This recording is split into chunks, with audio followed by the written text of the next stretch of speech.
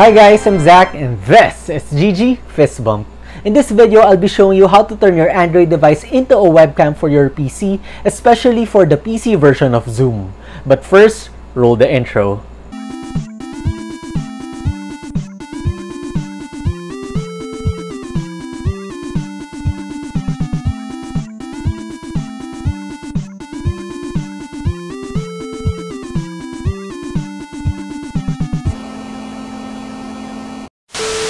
So in one of my previous videos, I did a how to use your iPhone as a webcam for your PC.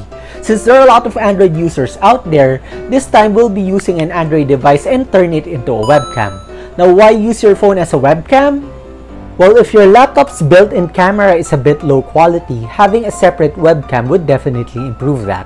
Maybe you have a desktop that doesn't have a webcam. Now, there are a lot of budget and mid-range phones with good cameras out there and the good thing is, you can use this as high-quality webcams for your PC.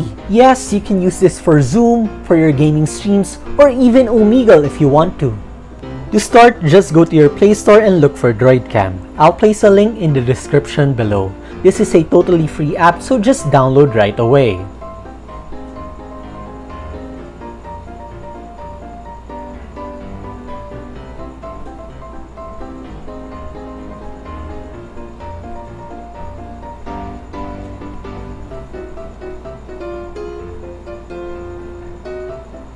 Once you download the app, just follow the instructions and install the Partner PC application.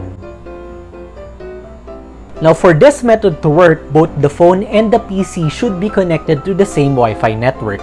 So go over to your PC and go to www.dev47apps.com. Again, I'll place a link in the description below. If you have a Windows PC, download the Windows client and if you have a Linux, download the Linux client. After the download, just install the program and start it up. Again, make sure that both the PC and mobile device are on the same Wi-Fi network. Now enter the IP address and DroidCam port number displayed in the app into the PC client. Click Start to connect. Unfortunately, it doesn't work with the front-facing camera, just the cameras at the back, which I guess is better because the back camera of phones usually have higher quality.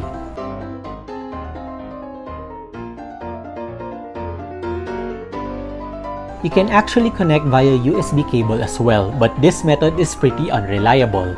Sometimes it works, sometimes it doesn't. Just connect your USB cable from phone to PC and click on the USB icon then click on start. Depending on your luck, it may or may not work. So if you want consistent results, just use the Wi-Fi method. Let's now head over to Zoom and test out our Android webcam. Start a new meeting. By default, it would run your computer's internal camera. Beside the video icon, you'll see an arrow pointing up. Just click on that and from there, you can choose which source you'll be using for the webcam.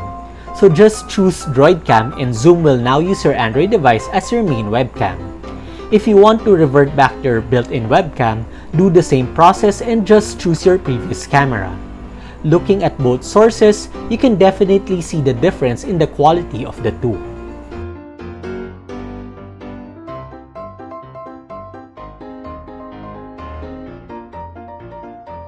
So once you have your Android webcam up and running, you can put your phone in a place that can hold it up.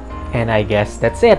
If you found this video helpful, interesting, or entertaining, please leave a like and subscribe to my channel, then hit on that notification bell for more content just like this. Again, I'm Zach, and this is GG Fist Bump.